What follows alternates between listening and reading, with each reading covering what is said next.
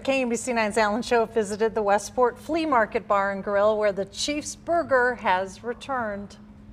Every time the Chiefs go to the Super Bowl, which is a lot now, we always run a crazy special. They call it KC's best burger, but for the next two weeks, it might be the most unique one as well. We hand patty our burgers every day at the Westport Flea Market, and so we were like, well, let's just do one in shape of an arrowhead. Joe says it's mostly about getting behind the team as they head to the Super Bowl, but he admits it doesn't stick around long. At the end of the day, the arrowhead's gone in about five minutes because they eat it, so it's, it's a good problem. It's an idea that's become really popular, and the Chiefs burgers just $3 because. It's our third Super Bowl under Patrick, so it's pretty exciting. Joe says don't expect any player shaped patties in the future, but says they'll keep doing fun things. He adds business is always better when the Chiefs are winning. People just come in, they're, they're in a good mood, they're excited. It's going to be two weeks of just building, building, building excitement, and then, God willing, we end up winning the big game. In Westport, Alan Shope, KMBC 9 News.